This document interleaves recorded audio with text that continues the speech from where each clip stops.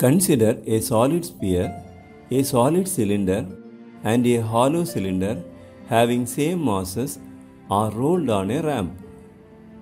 Which one will reach the bottom first? Let us check. Sphere reaches the bottom first. Do you know why?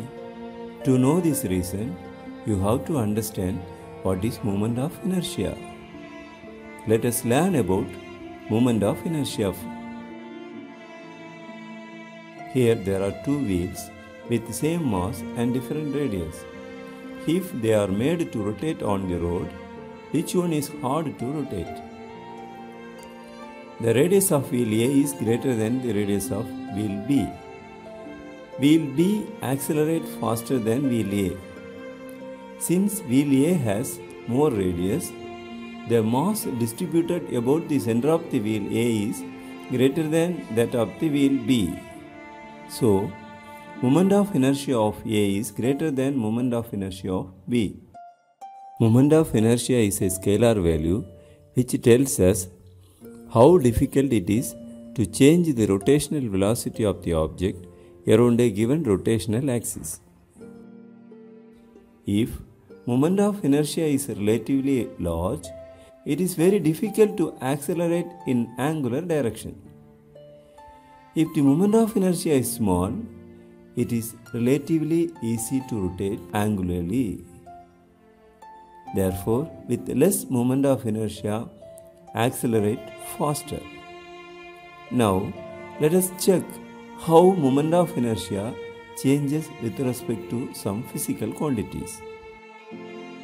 First, we can check what happens to the moment of inertia if mass of the body changes with respect to an axis. Consider a wheel of mass 20 kg with radius 0.2 meter. Formula to find out the moment of inertia is different for different shapes and different axes. Here the moment of inertia of the wheel about the axis of rotation is mr square which is equal to 20 into 0.2 square which is equal to 0.8 kg meter square. Hence, the moment of inertia about an axis through the center in this case is 0.8 kg meter square. Let us take another wheel of mass 25 kg with same radius 0.2 meter. The moment of inertia of the wheel about the axis of rotation is again mr square which is equal to 25 into 0.2 square equal to 1 kilogram meter square. Therefore, the moment of inertia about the axis through the center in this case is 1 kilogram meter square. If the mass increases, the moment of inertia also increases.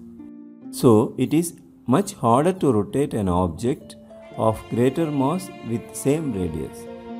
Now consider two wheels with the same mass and different radius. One wheel with mass 20 kg and radius 0.2 meter. We already calculate the moment of inertia about its axis which is equal to 0.8 kg meter square. Now let us take the second wheel which has the same mass 20 kg and radius 0.5 meter.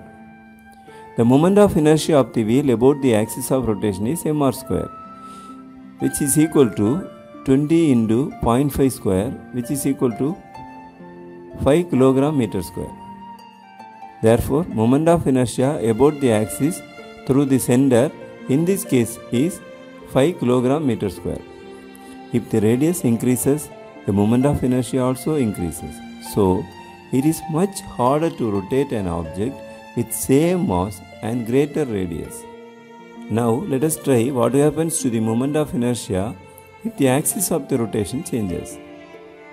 This is a rod of length L. If you grab the rod in the middle and try to spin it, it is easy to spin. Mass of the rod is distributed equally from the center of rotation.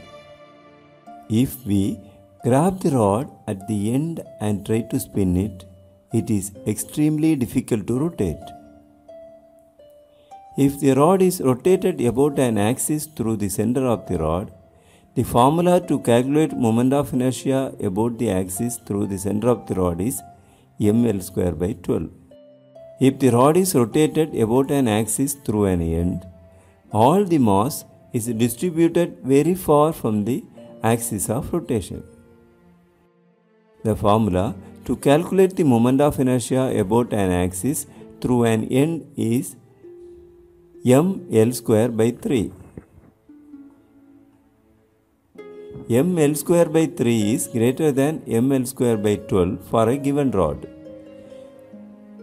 Therefore, moment of inertia of a spinning rod about an axis through an end of the rod is greater than moment of inertia of a rod spinning about an axis through the center of the rod.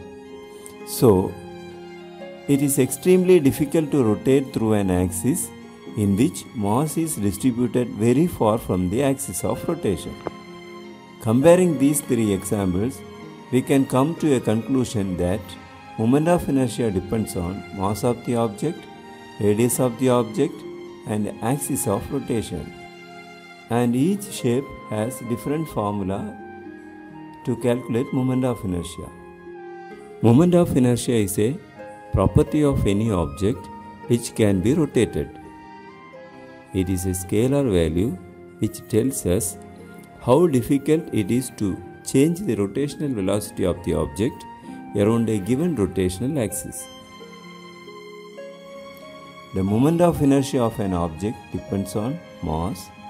It also depends on the distribution of mass related to the axis of rotation.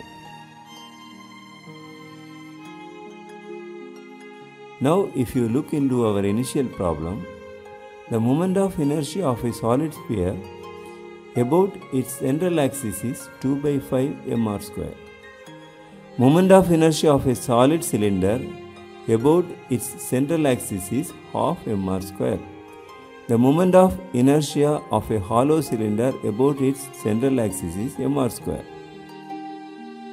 If mass is same in three cases, mr square is greater than half mr square is greater than 2 by 5 mr square. Sphere has lesser moment of inertia among these three, so it reaches the bottom first.